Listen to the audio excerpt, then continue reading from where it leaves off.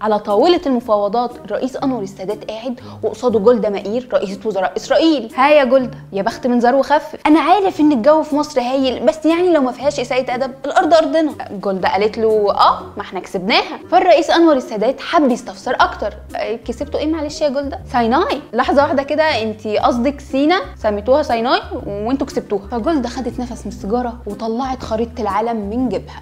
وفردتها على الترابيزة وقالت له بص يا أنور أنور لا أنور. فكملت جولدا كلامها وهي بتشد نفس من السيجارة وبتشاور على الخريطة. إحنا عايزين هضبة الجولان في سوريا وكمان القدس الشرقية في فلسطين و إحنا عايزين غزة كمان. هي مش هتخسر. وسينا طبعا. ده كده كده. بس بشرط حدودها تبقى منزوعه السلاح. علشان كفاية حرب بقى. فين السلام يا شعب السلام؟ فالسادات منع المساعد بتاعه وقال له هتقول لها فين ولا أقول لها أنا فين؟ وقبل ما حد يفهم الإفيه ويضحك السادات بص لجولدا وقال لها مش عايزة كل دايت مع الأوردر. اللزوم اللقمة الحرام. ما إحنا جايين نهزر. فجولدا قالت له أنور جيشك مش قد جيشنا. أسلحتك نصها قديم والنص التاني راح في حرب 67 ده غير إن بلدك مش حمل حرب تاني. أنا بقول لك ده لمصلحتك. أنا مش هكسب حاجة أكتر من اللي كسبتها. ولأن أنور السادات معروف بالرئيس المؤمن.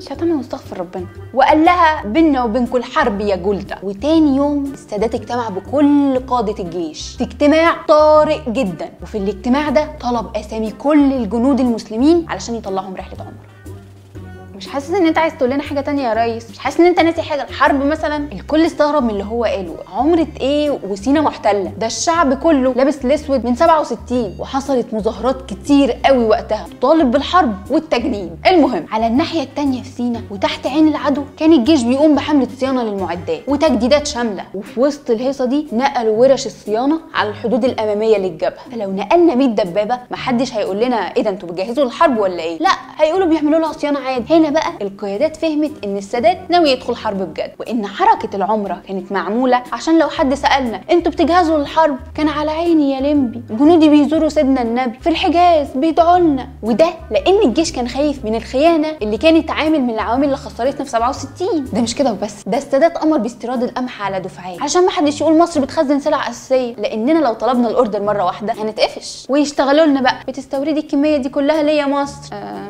بنعمل أكبر كيكة برتقال في العالم؟ مش مقنعين؟ لأ. وقبل نهاية كل سنة السادات كان يجر شكل إسرائيل بتصريحات جريئة. في الشهور الأخيرة من سنة 70 السادات قال هنحارب. فإسرائيل عملت إيه؟ جهزت الجنود والأسلحة لا وكمان اشترت أسلحة بكر. وخلصت السنة والسادات بيعمل countdown عادي مع جيهان في البيت.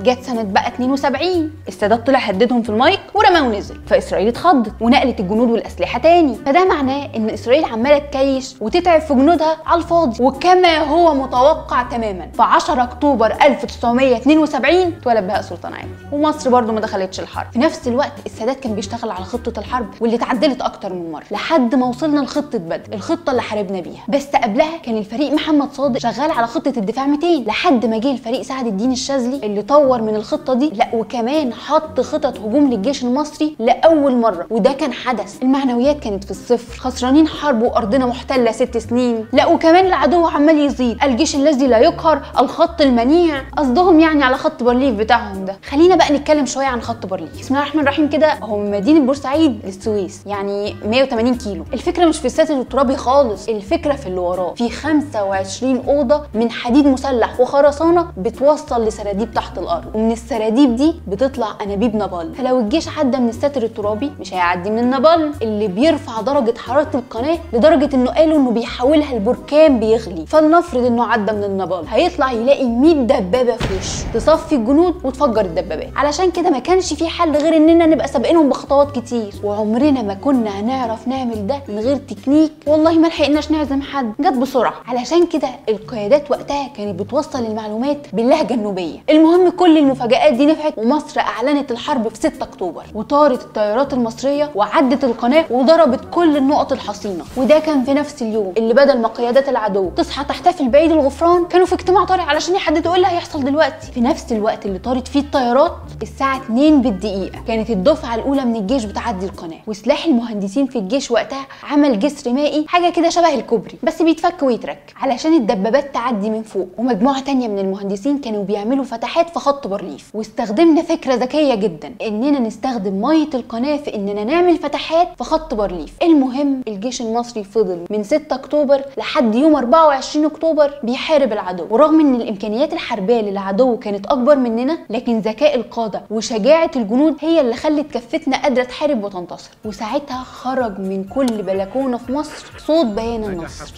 وخد عندك بقى شوية ملحوظات.